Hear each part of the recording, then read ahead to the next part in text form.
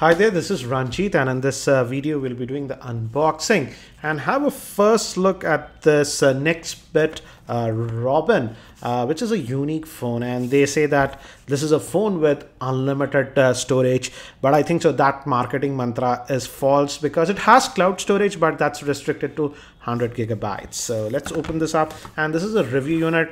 And regarding the pricing and availability this product is sold in India via Flipkart and it's priced at 20,000 rupees. I'll have the link for Flipkart in the show notes for your reference. So let's just open this up and the packaging is very different.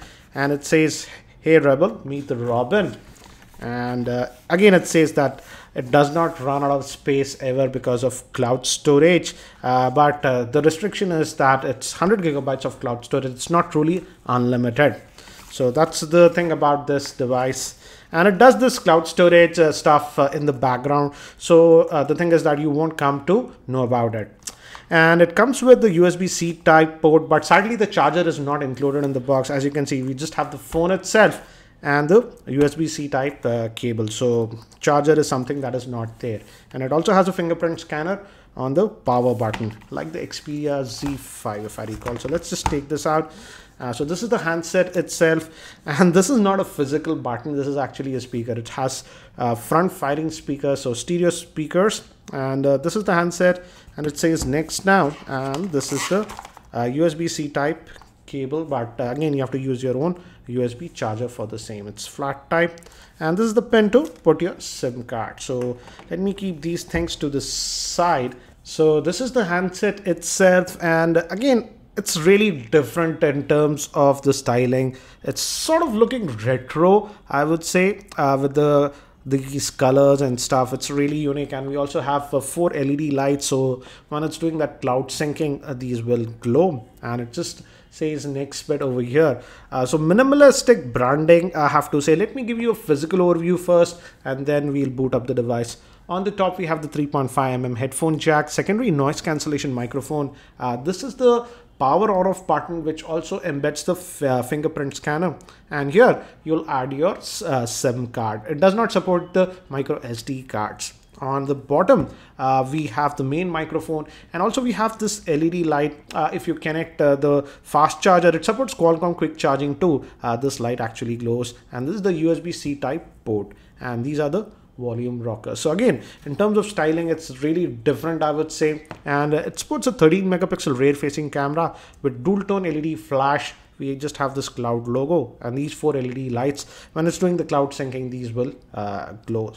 And uh, it has the, the front firing speakers and the front facing camera is supposed to be a 5 megapixel uh, shooter. So let me just quickly just uh, boot this device. And in the meantime let me give you a specs overview this uh, Nextbit Robin is powered by the Snapdragon 808 chipset, which is a 6-core chipset. It comes with 3 gigabytes of RAM, 32 gigabytes of internal storage, 100 gigabytes of cloud storage is also included. It sports a 5.2-inch 1080p screen. It also has a fingerprint scanner. The battery is a 2680 milliamp hour battery, and it also has NFC support. So this is the uh, first boot of this device. Uh, and uh, it just gives us this uh, logo. And it's a little bit different. Uh, it's i would say this is close to stock android but they are using a different skin. And uh, again the cloud storage is supposed to work in the background. So this is what you get. So again as you can see not a lot of uh, bloatware. These are the google apps that we have uh, play store and stuff. And these are the basic apps that we have. And again as i told you it's a different skin and we don't even have an app tray but initial impressions i have to say uh, it's smooth uh, running on the Snapdragon 808. And again, regarding the cloud storage, uh, right now I don't have a lot of apps installed because we have just set up the device. So if you have a lot of apps and uh, you're running out of the internal storage, that is 32 gigabytes of internal storage, uh, the apps uh, will move automatically to the cloud storage. You don't have to do anything about it. It auto detects which are the apps that you are not using the most frequently or the pictures and will auto archive them to the cloud. And the icon, for example, let's say this app has been uh, what do you say archived will become gray so if you want to use it you just tap in and it downloads the app. I don't i don't know how feasible that would be in india because we don't have unlimited mobile uh, data and stuff like that. So yes the cloud storage uh, stuff is interesting. But again uh, if you are on the go and let's say your uh, app is archived when you click it will use your mobile data. So you have to be aware of that uh, because we don't get unlimited data here in India with most uh, mobile providers. So this is what we have. So this is very close to stock Android as you can see if you go to about the device. Good thing is that it's running on Android Marshmallow that is 6.0.1 out of the box. So that's what you get. And again, the buttons are virtual. This is back home and this is for the multitasking as you can see. So let's just go back and look at the storage uh, and does have NFC. And the storage tab is known as smart storage. If you click on that, as you can see, the local storage that we currently have is 24.9 gigabyte. Uh, but if you want that, uh, what do you say, cloud storage, you have to sign up with the uh, NextBit Robin account. You just can hit this and you can create your account. So right now uh, we are just using the uh, default storage that is on the device and out of the 32 gigabytes, we have 24.6 gigabytes of space left. Again uh, do note that we don't have any micro sd card uh, with this device. So they expect that you use the cloud storage if you're running out of the internal storage. So that's the big thing about this device. Um, and again it looks a little bit uh, retro. The styling is very different from other devices. Uh, it's very rectangular in nature. Many of the new devices are coming with the rounded back curved uh, stuff but this is totally flat. So again some of you might like this retro design but you have to be aware of that. Let's also quickly look at the camera. The camera is supposed to be a 13 megapixel shooter.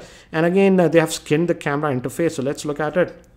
So this is the camera interface. Uh, looks very spartan as you can see. We have the tap to focus. Let's do that and uh, the shutter lag is not that much. As you can see I can just tap and uh, take the picture and let's go to the settings. So back uh, at 13 megapixel it's in 4 by 3 ratio. And uh, you can again go down to uh, other uh, screen resolutions as you can see and in terms of video it does support 4k video so that is nice to know. Uh, so it's nice. Actually regarding the pricing uh, uh, they have priced it really well in India because in US uh, this one is priced at 400 US dollars. So that means it's above 25,000 rupees in US but in India uh, they have priced it at 20,000 rupees. So that's interesting. Let's look at some of the pics that we have just shot. So here are some more sample shots that I took just now to give you an idea about the camera now these pictures were shot in semi-indoor conditions and I feel it does a decent job. Uh, in very low lighting, yeah, it struggles, but still better than the Vibe X3 in my opinion.